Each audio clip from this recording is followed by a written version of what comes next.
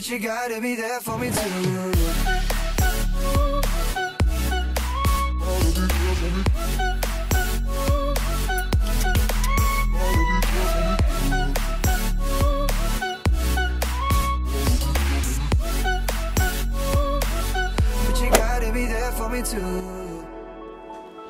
Pokud moje videa sledujete aspoň trošku delší dobu, víte, že už jsem několikrát mluvila o tom, že bych chtěla zkusit modré vlasy.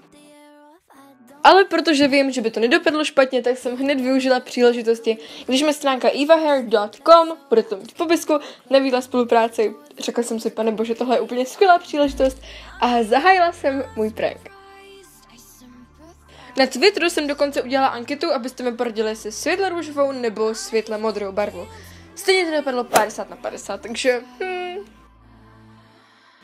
Na jejich stránkách jsem si vybrala takovou modrou peruku, která byla strašně dlouhá, takže jakmile mi přišla, tak jsem to musela vybalit, vyzkoušet si to na hlavě, milionkrát to prostříhat a přestříhat, aby to aspoň trochu vypadalo jako moje vlasy. Jelikož celý tenhle ten proces trval hodně, hodně dlouho, tak jsem si vlasy rozčesala, dala jsem si je do culíku, většinou vám přijde taková ta jak když síťka na hlavu, aby se vám to líp dávalo do té peruky, to už jsem stihla ztratit. Jednoduše udělala jsem si culík, strčila to do té peruky, pročesala ji a hodně, hodně, hodně prostříhala. Ty peruky bývají fakt hodně husté.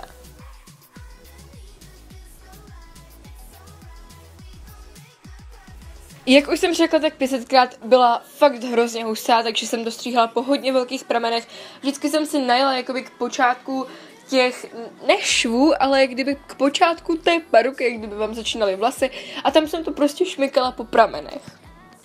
To jste potom měli vidět náš koberec, ten byl pěkně chumáčovitý. Jelikož na tom čele ta paruka vypadá hodně, hodně nepřirozeně a to tak nejvíc odhalit, tak jsem si ty vlasy podél boku hlavy vždycky stáčela do takových uh, culíčků, něco takového, já tak nosívám i normálně, aby to vypadalo co nejvíc přirozeně a podle jsem se orientovala při tom stříhání.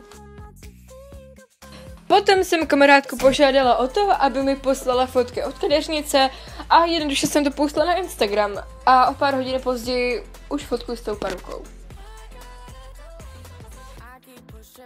A došlo mi tolik feedbacků, že bych to nestihla vysklinovat do konce života. A v podstatě jediný, koho napadlo, že to není real, byli moji úplně nejbližší přátelé, takže that's the prank, bro.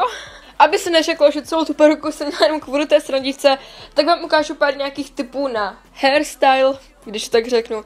Já jsem fakt poslední člověk, co by někomu měl radit, spíš já bych potřebovala poradit. Nicméně, tady tahle věc, uh, vzala jsem si prostě choker, takovou tu tkaničku kolem krku a uvázala jsem si to kolem hlavy. Uh, potom jsem si třeba upletla slíky, Uh, jo, já vím, je to fakt hovadina, ale normálně to takhle nosím jako s hnědými vlasy, s mými vlasy a vypadá to fakt dobře. A je léto a, a tak. Je to úplně jednoduché, na obou stranách hlavy si uděláte culík nebo nějaké místo, kde víte, že budete chtít udělat ten drdůlek a pak tam podržíte prst nebo tam dáte gumičku a začnete kolem toho motat vlasy. Pak to zagumičkujete, připinetkujete a máte to hotové.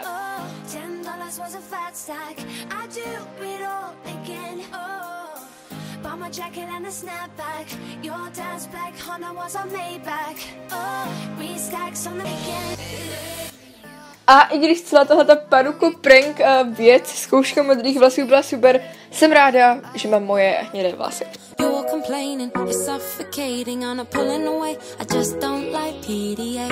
Why you gotta get so